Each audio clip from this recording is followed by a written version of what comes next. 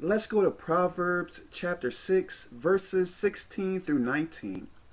To the left is the King James Version, to the right is the Expanded Bible. Okay. These six things doth the Lord hate.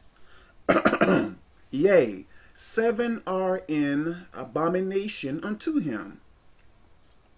17. A proud look. So, what is a proud look? So, pretty much prideful, haughty. Let's look up the word haughty. Some people may not know what that means. Even I.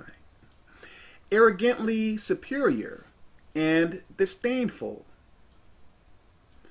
So you look down on people, hey, I am better than you. No, that is wrong.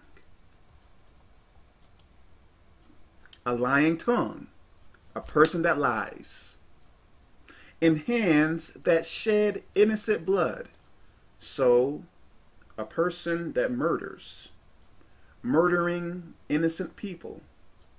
18.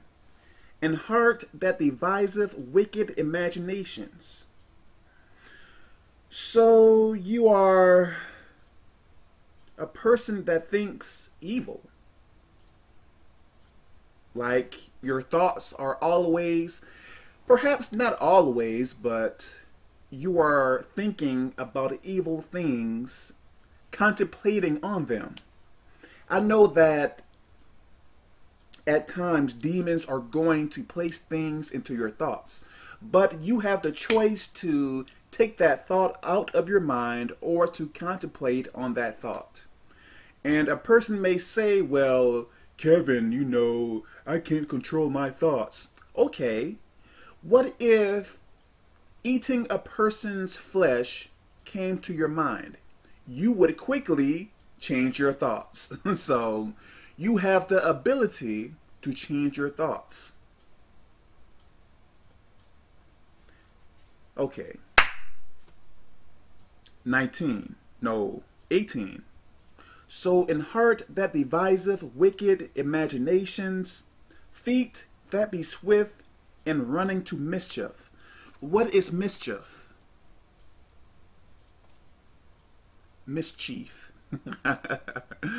Playing misbehavior or troublemaking, especially in children.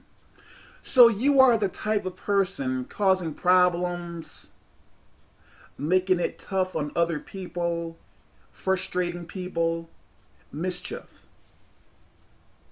Okay. 19. A false witness that speaketh lies.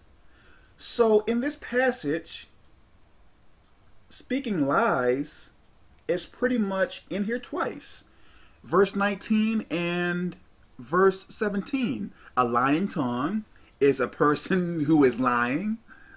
And in verse 19, a false witness that speaketh lies. So God does not like liars, my Lord. And he that soweth discord among brethren. So you are the type of person that's causing all types of trouble. God is not with that. He does not like that. So these things are in abomination to God. So refrain from them. I pray that this makes sense. God bless.